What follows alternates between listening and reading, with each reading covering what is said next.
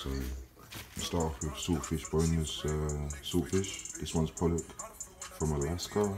Yeah, so like dried, salted basically. Uh, looks like this. Um, basically you want to start off by, uh, it's a bit hard so you want to like boil it or soak it basically. I ain't really got much time so I'm just going to boil it for like half an hour. Alright, so this is the saltfish, yeah, it's like mad salty and that, so I'm gonna like boil it off, yeah, got some water on the bowl there, just gonna chuck that in basically. And uh, let that boil for like half an hour. Then you're gonna get your vegetables, yeah, so I basically got a green pepper, uh, red pepper, onion, and a scotch bonnet. So I'm gonna chop up those and uh, chop them in. Alright, yeah, so I cut up the vegetables like green pepper, red pepper, onions, and some scotch bonnet to spice up the thing. And uh, yeah, just gonna basically put some oil in the frying pan, like quite a bit of oil, because you're gonna fry the vegetables, and then you also want enough oil to fry the fish after.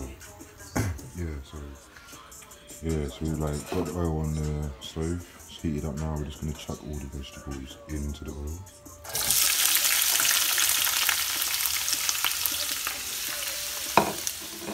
So I took the saltfish off the boil and strained it. Um, so like yeah, that's kind of half boiled, half an hour. So we boiled the saltfish. Just gonna break it up and uh, put it into the rest of the vegetables. Alright, yeah. So this is the saltfish. I broke it up into little bits with my hands. Uh, now that I'm looking at it, I'm thinking that that's not really enough. I probably should have bought two packets, but oh well.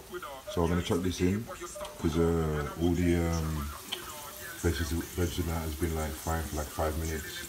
so I reckon it's ready now. So I'm just gonna chuck all this in there. So chuck that in and mix that around. Alright, so I put the saltfish in uh, with the vegetables. It's frying now. Now that I'm looking at it, it's probably enough actually. Like maybe I don't need two packs. Um, yeah, so just gonna like put this on a little bit of a low simmer actually. Turn this down and like leave it for like five minutes. I'm also just gonna add a little black pepper in there as well, like little uh, seasoning. Obviously it's salty enough, so don't put no salt obviously. Um, yeah, I just found that this is not my kitchen by the way. Little disclaimer. Like, I'm just finding ingredients as I go along with it. So yeah, just leave that for a couple more minutes. Yeah, so that's the saltfish done. Uh, obviously put it with some bakes or like bread or yeah, whatever you want to put it with.